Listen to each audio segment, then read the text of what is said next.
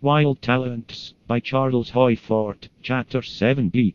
Possibly the remote ancestors of human beings were apes, though no evolutionist had made clear to me reasons for doubting the equally plausible theory that apes have either ascended, or descended, from humans. Still, I think some humans may have evolved from apes, because the simians openly imitate humans, as if conscious of the higher state, whereas the humans who act like apes are likely to deny it when criticized.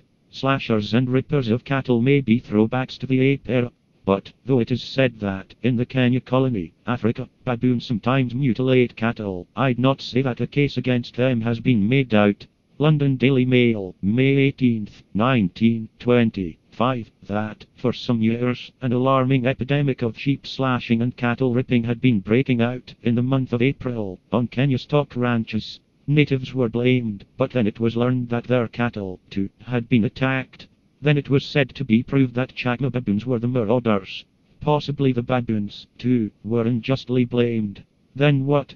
The wounds were long, deep cuts, as if vicious slashes with a knife, but it was explained that baboons kill by ripping with their thumbnails.